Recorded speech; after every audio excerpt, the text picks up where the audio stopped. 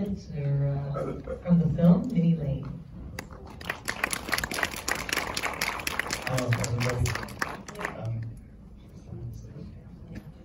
um, there's a couple of other people from film as well, um, James Duval and Giselle Fried, if you guys would like to come on and introduce you to a few of the other people. So, okay, so you would like to go first? Um, I have a few questions and then I'll throw it to the audience. It was a really fascinating film. When I saw it, I had no idea. Um, I had no idea that this culture even existed. And it was interesting to me because it seemed like it started as almost a, a kind of innocuous, you know, teaching guys how to talk to women. It didn't seem so um, treacherous and it seems to have devolved into this predatory, uh, misogynistic industry. Can you talk about that evolution and why you think that it went in that direction? Sure. Um, would you like to talk about that for a bit? Yeah, I mean, actually, I think watching the film is really interesting to me because it sort of echoes the journey that I went on with this. So, I first came into the industry as a conversation coach, and um, you know, saw these guys, and you think, oh yeah, this is this is cool. You just want to help some guys get some get some skills. There was some other stuff other guys were doing. It mostly seemed ridiculous to me at first. It didn't seem malicious, and then slowly you start to see it unfold, and you see this real real dark side and you know I saw the I saw the industry start to go in a direction and I left because I didn't like it um, and I actually kind of lost touch with it and I've been off doing my own um, dating coaching and personal development coaching um, from a more moral perspective um, and I didn't even know half the stuff that went on in the in the industry until I was asked to be interviewed for the documentary. And then you know I wasn't really surprised at all to hear what went on, and I really thought I want to be a part of this and, and help people understand how slippery a slope it can be from you know this little teasing neg into some really really dark behaviour. Um, have, has there been any, um, support or backlash or anything from women's groups trying to get a hold of this? Have there been any, you know, lawsuits or investigations against these people? Um, well, I mean, this is quite this is quite interesting. I think the short answer is that there are another a few pickup artists that have been sued by people that have discovered themselves on YouTube or discovered themselves as part of the product. Um, but strangely, there's been nothing. There's been nothing kind of widespread, uh, except recently in the UK. There was actually one of the um, one of those pickup artists over there has recently been um, in prison for I think it was two years off, off the back of um, a, a, BBC documentary, actually. So it is, I think it is, I think there is, it does feel like there's a kind of a reckoning coming for some of this behavior. Um, yeah, but, but strangely that hasn't happened yet. Can you just talk to me a little bit about the, um, the filmmaking process? Like, how did you come to tell the story? Sure. Um, so I I first stumbled. It was a, it was a couple of things. I I stumbled across a few the YouTube videos um, from Julien Blanc, who was the person in the middle of the film that the big scandals about. Um, and I had a friend who was essentially doing the same job that, that Minnie uh, used to do, which was be a kind of conversation person at, at, one of the one of the seminars. Um, and, and and that was kind of the way in. And then I think I think for a very long time uh, because it took quite a few years to put it together. And I think for a very long time I was I was trying to figure out, okay, well, you know, what we were trying to figure out rather, like where is this where is this going, you know? And then and then I heard Minnie on a podcast um, talking about ideas that kind of seemed fairly self-evident, like the importance of self-worth and um, authenticity, and, and, that was kind of when I thought, okay, you know, I have to meet this, I have to meet her and, and, and include her, and I, I think that's that's where it should end up, you know. Um, do you want to talk about the first time we, we met? And I kind of said about, of, what do you know, do you want to be in it? And, and, because you were a little bit hesitant, weren't you, initially? Yeah, I, so I, until I was this, doc, documentary, I completely dissociated myself from the industry because I didn't want to be associated with any of this stuff that goes on. You know, some of these guys, these guys that um, are in jail currently, they use the same job title as me. So I uh, you have to be careful. And when someone says, can, can I interview you? You know, I don't know. It, it, you don't really get the sense of that when you're watching the film, but I haven't seen the footage at the point when I'm being interviewed. You know, I'm, I'm talking about the industry. Um, there has actually been, I've, there's been backlash from some of the other pickup companies in it, as you mentioned before. Um, I've also been trolled on social media a little bit for that. Um, I don't know what we're talking about. No, just, just, How you, how you came to, yeah, how we came to sort of. I, I, I, but I think we talked about it a lot in terms of okay, if not, I, I, I think one of the things that you said, which I thought was very very interesting, is there's no point making the documentary saying the pickup industry is shit. You know, you, you need to say something a bit more than that. You need to offer something like a, some kind of a solution or something a bit more hopeful. That's why I wanted to be involved because I think it's it's so easy to make a documentary that says, look at all this awful stuff that's going on, and, and I, I think this documentary goes so much deeper than that to actually explore how complex it is and some of the much deeper reasons for its existence. You know, if you got rid of the entire pickup industry today, you haven't solved the problem at all because the pickup industry is a side effect of much deeper problems in our society where people, you know, enter adulthood completely clueless as to how to create connection with other people. They don't understand how to process their emotions properly. Um, they, you know, they don't have any confidence. They're, they're terrified of rejection. And we need, if we want real change, it's not about shaming and blaming. Actually, it's not about going. I mean, that that, that needs to happen. But if we want real change, we need to look at why it's happening and really start try to understand with compassion what is sucking people into this industry in the first place. What's probably not that clear watching this is that the whole industry sort of supports itself. Um, all the instructors were students themselves, so it sort of feeds itself from the bottom with vulnerable people coming in, learning some tricks, and then passing them on to other vulnerable people. So we need to look at why these people are vulnerable and look at the gaps in our schooling system and in our parenting styles that mean that, that people aren't getting the love they need to develop psychologically into secure human beings. That's the real issue. another aspect that was um, troubling to me about the film is, you know, there's the, the gender predatory uh, dynamic that's going on, but there's also this um, preying on these lonely men, just sucking as much money out of them as possible. Can you talk a little bit about that? Yeah, I mean, everybody in this system is vulnerable.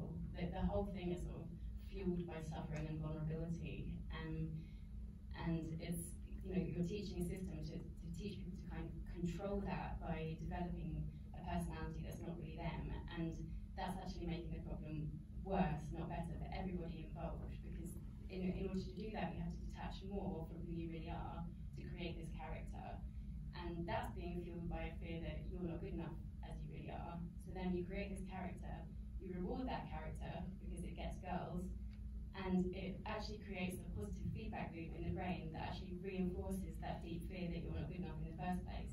So you're actually making yourself worse. Um, and that's that's really, really misunderstood. And you know, I spent my whole life just like trying to teach this and try, trying to help people understand.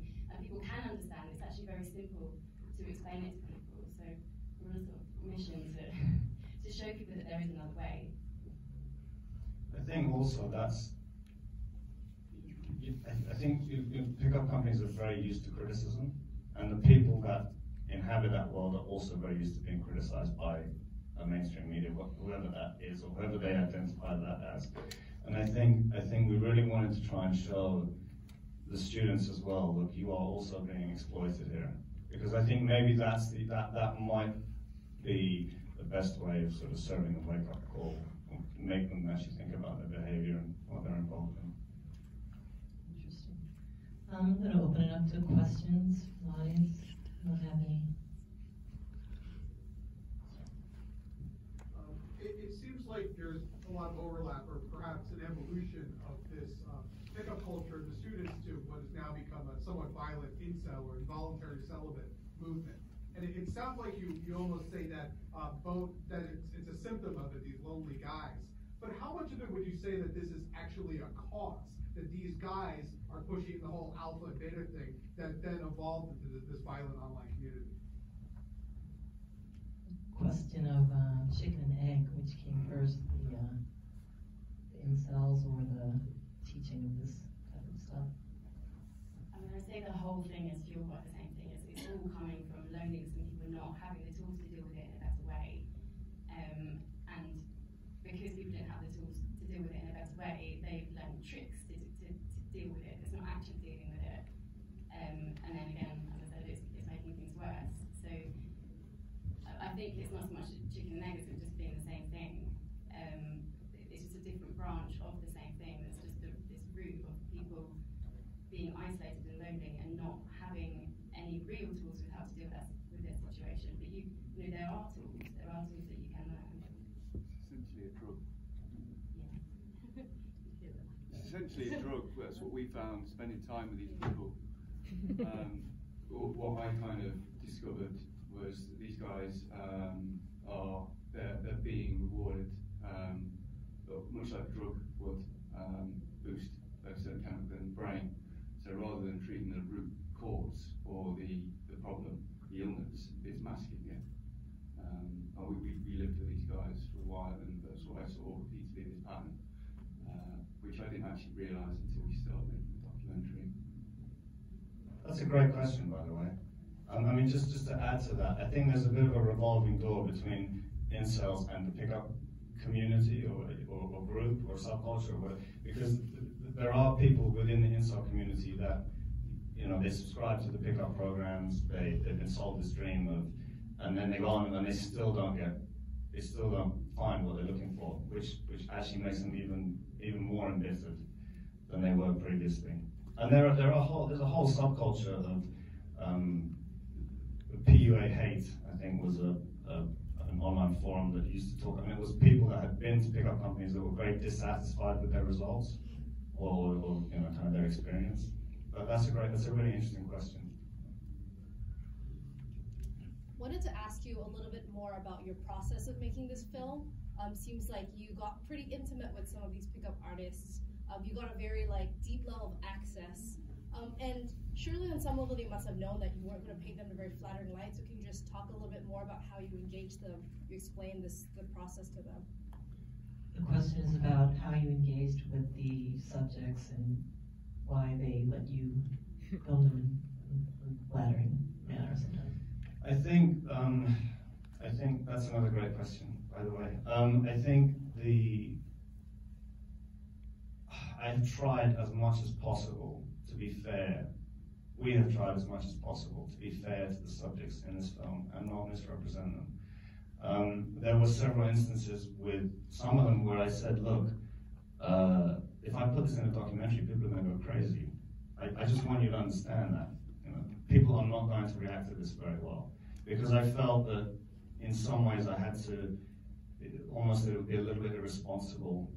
Um, I mean, there's a very odd dynamic. We probably don't have time to talk about it now, but, but there's a very odd dynamic between when you spend that much time with people. Of you know, it is it is it is sometimes that you you, you, you I, I, we've tried to be fair. I think is, is, is the best way of saying it. And I, and I was there were a few times it was very clear. Um, one of them was Justin with the tattoos. And I said, look, if I if I put this in the documentary, people are not going to react well to that. I just need you to understand that. And I think the thing is, a lot of a lot of these these their, their motivations are different. The, the most important thing to them is to be seen as the best at what they do. They don't really care what people think about them. Um, they, they view that as kind of lesser beings. It's, it's, it's kind of classical sort of narcissistic. Um, I hope that answers your question. They're, they're also so used to being rewarded for awful behaviour. I think you see some of that in the documentary, where because of this sort of cultish um, setup of, of the groups, um, you know, you see them in the, in the film being racist and you know completely degrading women and people laughing and applauding. And so they're so used to acting in an awful way and getting respect for it that I think they genuinely didn't really realise um, how, how it was going to come across to the general public, and they obviously do now, and that's why they're trying to, you know, file legal complaints to, to get it pulled. Yeah, in, in their arrogance, um, in their arrogance, uh, what I find quite fascinating was that they, see that they weren't the best ever, so they had this blind belief. Uh, for example, one, one of the instructors wanted to be an actor, uh, we run a film company, He like, oh, calling me up afterwards, you know, um, I'm going to be in your next film doing this, right? And I wanted to offer the role or anything like that.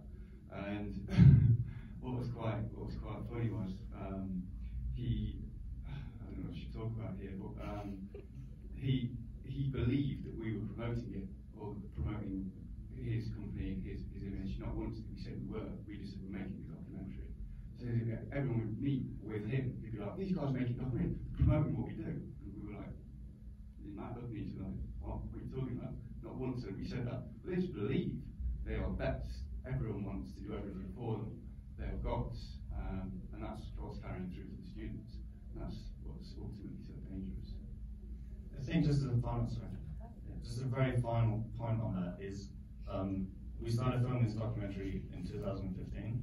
So this was this was before the Me Too movement and and those kind of conversations around sexual harassment and uh, were, were they weren't really in the public um, they weren't really in the public sphere as much as they are now. Um, so it was it was a different yeah. We have time for one more question. As far how are you sure that they weren't negging you the whole time? They were telling every, like, making other people believe they're doing the movie just to go along with it, they probably don't care, because it is still promotion to, for them in some way. Uh, my main question is, these classes couldn't have worked for most of these people, like, they were showing these guys going around, like, how do these seminars keep happening? Because most of these guys are probably not getting laid all the time from going to them. So how has there not been more backlash from the consumers and the product, or like that's what, what was I was thinking the whole time, is like there's no way that this is working for most of these guys. So the question was, why isn't there more um, backlash from disgruntled customers? I, I think the sales model is very clever. Um, firstly, the, well, the fact that the, the industry is quite underground helps that because nobody wants to, to say that they've been on these courses. Um, they're just going to remove any bad comments. They've got enough people who are going to say good things about them, and you know the, the, the way that the, the businesses and the websites are set up is very salesy, and they are very good salesmen. You know, it, the whole thing is, is just advertising. Really, works in exactly the same way. I think also there's something that really can't be underestimated is a lot of people that, that come into this are very lonely and isolated. And this is something that I, I hope we explain is that they find a sense of community, they find a sense of belonging in coming into this. It gives them, they have a common interest and they sit around and I, I mean I've been with students and they will they've been they will sit around all day and they will talk and you know as if discussing a video game or as if discussing it's it's a common it's a common interest. Yeah, yeah. So it's, it, it gives them, it, and I think that's one of the interesting things is as well as this, it, it, sometimes it becomes more about the, the community of men than it does the sort of the, the, the, the women that they're, they're pursuing. Uh, I answers. Very fascinating. Thank you for sharing that with us, and thank you all for coming.